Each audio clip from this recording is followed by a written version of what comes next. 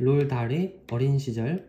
롤달은 태어났다 수동태 1916년에 웨일즈에서 달의 부모님들은 어, 노리진 어, 노르웨이인들이었고 그리고 달은 그리고 name after라면 모모의 이름을 따서 짓다 근데 수동태지 달은 노르웨이인의 탐험가 롤달 아먼슨의 이름을 따서 이름이 지어진 거지 그의 첫 번째 언어 즉 모국어 말하는 거야 그의 모국어는 노르웨이어였다. 그리고 컴마 계속중 용법이라 그랬지? 끊어서 해석한다 그랬지? 근데 이거는 목적격 관계대명사니까 주격 관계대명사처럼 그리고 그것은이 아니라 그리고 그것을 그리고 그것을 뭘 설명해 주는 거야 지금 요거? 그리고 이 노르웨이 언어를 그리고 그것을 그는 말했다. 집에서 그의 부모들과 그리고 4명의 자매들과 4명의 자녀들의 이름이 이렇게 나와 있어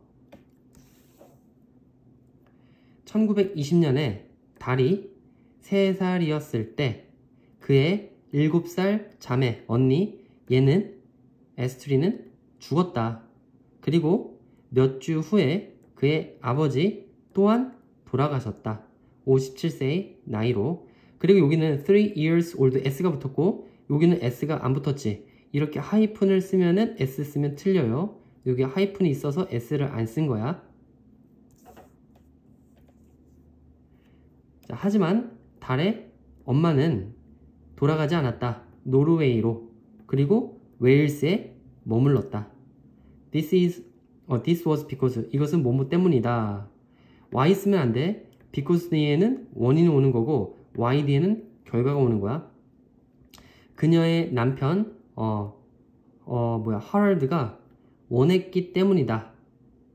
그녀의 아이들이 교육을 받기를 어, 영국 학교에서 또 계속적 용법 그리고 그 영국 학교를 그는 여겼다. 영국 학교를 왜 목적 없잖아. 못 간대지. 세계 최고로 학교로. 세계 최고로 여겼다. 그리고 여기 시제가 had pp 썼어. had pp는 과거 시제보다 더 먼저 일어난 거라 그랬지.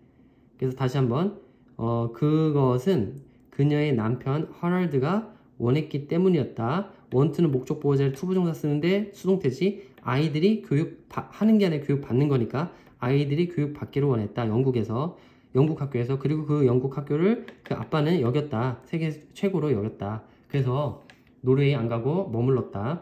그리고 달은 갔다. St Peter's 여기 콤마 있지 동격이야. boarding school이라고 나와 있지 기숙학교야. St Peter's 기숙학교 갔다. 하지만 어, 세인 피어스의 그의 시기는 어, 불쾌했다. 행복하지 않았어. 기쁘지 않았어. 자, 그는 매우 홈식. 홈식은 집이 그립다라는 뜻이야. 향수병에 잠긴 이런 뜻이야. 그리고 행복하지 않았다. 향수병에 잠겼고 아니면 뭐 집이, 집을 매우 그리워했고 행복하지 않았다. 다른 나중에 썼다. 그의 시기, 시기에 대해서 세인 피어스의 그의 세인 피어스 때의 그의 시기에 대해서 이때 내가 불행했잖아 그지? 어, 이런 시기에 대해서 썼다. 그의 어, 오토바이오그래피 자서전 자서전 이름이 보이지. 그래서 자서전 보이에 그의 이때의 시기에 대해서 썼다. 그 자서전이 뭐냐면은 어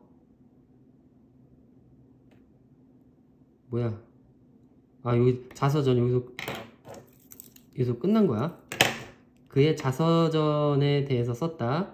이 자서전이 뭐냐면 소년 어린 시절에 뭐